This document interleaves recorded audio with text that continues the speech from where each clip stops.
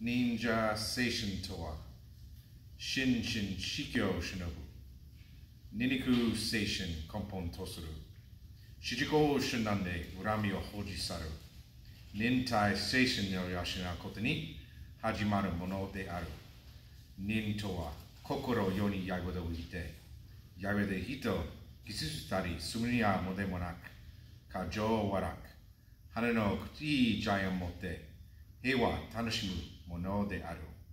上に体を持って、自然ねの毛の酒、姿を消す、教術転換の妙へ、一丁国たまとか、義やために、地、水、火、風、空の大自然のものをして、大創設することが、忍者根本原則である。